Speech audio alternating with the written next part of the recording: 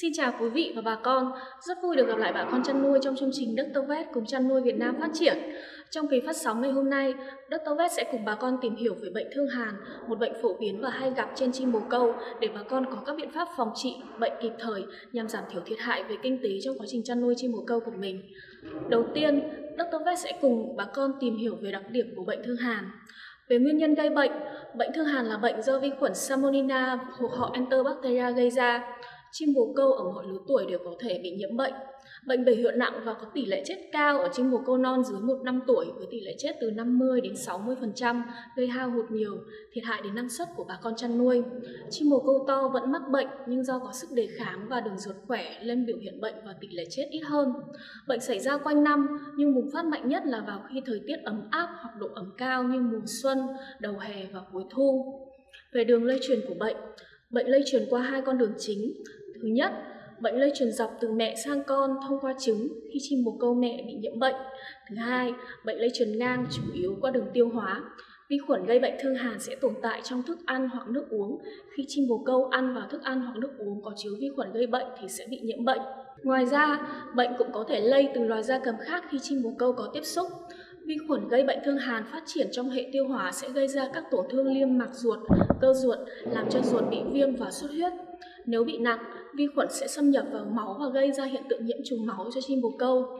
Về triệu chứng khi chim bồ câu bị nhiễm bệnh, khi chim bồ câu bị bệnh thương hàn, bà con quan sát bên ngoài sẽ thấy chim bồ câu có các biểu hiện như sau.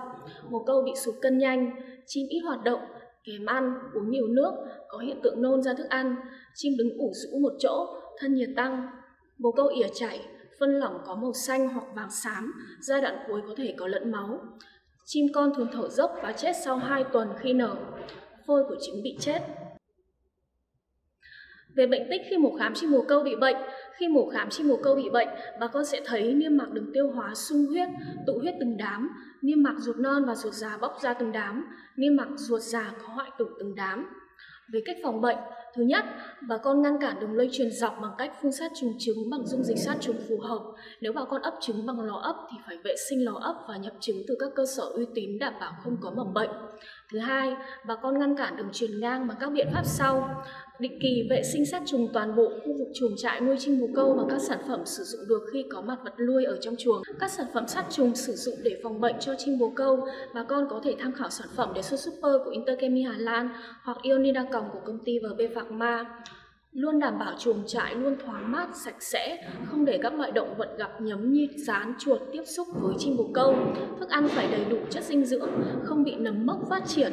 Nước uống của chim bồ câu bà con cần thay hàng ngày và phải đảm bảo máng ăn máng uống luôn sạch sẽ.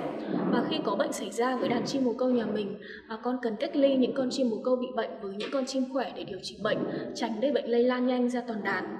Với những con chim bồ câu ốm chết, bà con phải đem chôn ở hố chôn có đổ vôi bột hoặc bột sát trùng. Bà con không được mổ chim bồ câu ốm gần nguồn nước và khu vực nuôi chim bồ câu. Toàn bộ số chim cùng chuồng có chim bồ câu bị bệnh, bà con cho uống sản phẩm Colichin VKS của công ty VB Pharma theo liều lượng hướng dẫn trên bao bì thuốc để phòng bệnh cho toàn đàn. Về cách điều trị bệnh, với những con chim bồ câu bị bệnh, bà con tiến hành điều trị bệnh cho chim bồ câu như sau.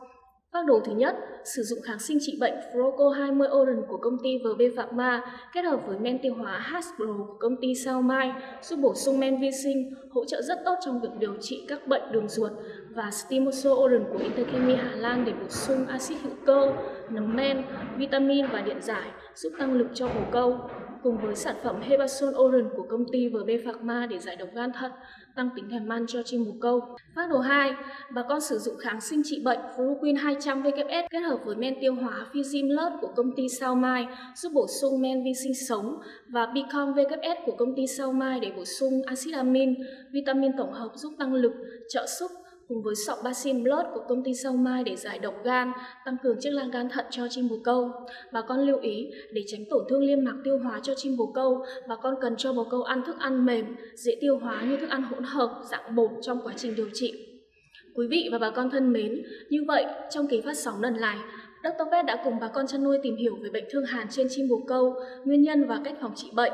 Nếu quý vị và bà con có bất kỳ thắc mắc nào cần được tư vấn thì hãy liên hệ cho Dr. Vet theo số điện thoại hotline của chương trình. Chúc bà con chăn nuôi thành công. Xin chào và hẹn gặp lại bà con trong những tập phát sóng tiếp theo của kênh.